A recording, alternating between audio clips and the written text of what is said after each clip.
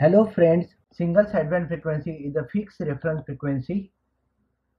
Now we will see the generation of SSB using filter method.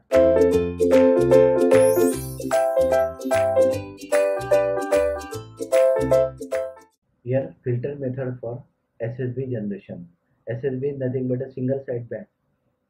Actually in this modulation only one sideband can convey all the related information but unnecessarily the other sideband when it transmit along with the DSB-SC so the remedy for that it is SSB generation at only one sideband can be transmitted. Here crystal oscillator which is generating the carrier frequency is sufficiently amplified and coupled to the balance modulator. Balance modulator is a nonlinear resistive device. The output of the balance modulator is double sideband with suppressed carrier. The second input of this balance modulator is modulating signal which is sufficiently amplified with the help of audio amplifier. The output of balance modulator we are getting double sideband with suppressed carrier but only one sideband here we require hence we'll use the sideband suppression filter. Basically sideband suppression filter have two filters. One is for the upper sideband another is for the lower sideband.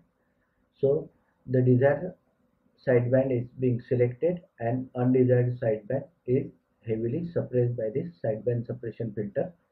And finally at the output of that we are getting the SSB signal. But this signal have very lower range of frequency.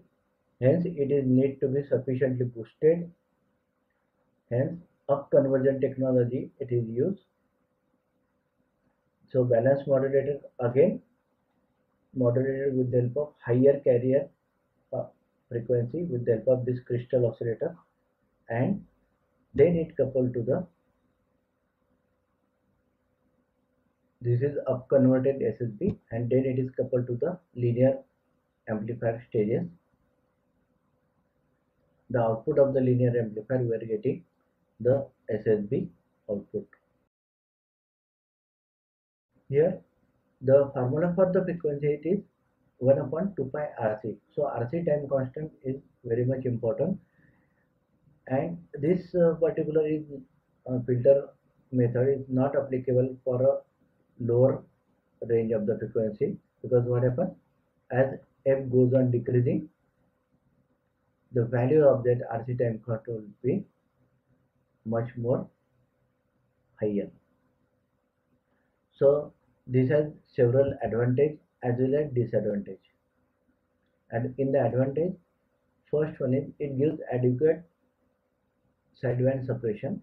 So SSB filter helps to attenuate the carrier. The bandwidth is sufficiently flat and wide, but it has certain disadvantage also. First disadvantage is that the frequency of convergence is necessary and due to that obviously the cost will be raised. Low audio frequency cannot be used as the filter becomes bulky. Why it become bulky? Because as f goes on decreasing as per the formula.